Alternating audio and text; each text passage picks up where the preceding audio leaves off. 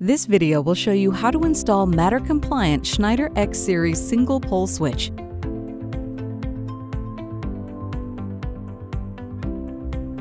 The most common electrical switch in a residential setting, used to turn lights and other devices on and off from a single location, or in a three-way circuit.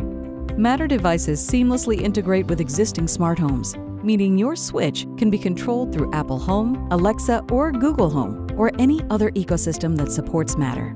Before beginning, ensure the circuit breaker that powers the switch has been turned off at the electrical panel. Confirm it's off using a properly rated voltage sensing device.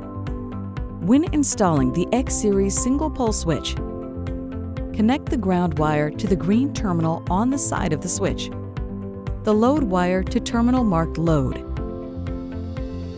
and the neutral wire to the terminal marked neutral. Complete the wiring by connecting the hot wire to terminal marked hot. Check that all connections are tight and no bare wires are touching other terminals. Once your wiring is complete, install the switch into the standard switch box using the provided screws. Then install the wall plate.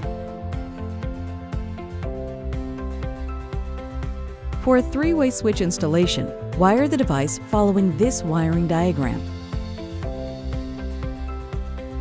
The installation of the Schneider X Series single-pole switch is now complete. Scan the QR code on the box or visit the Schneider Electric Wiring Devices homepage to learn more.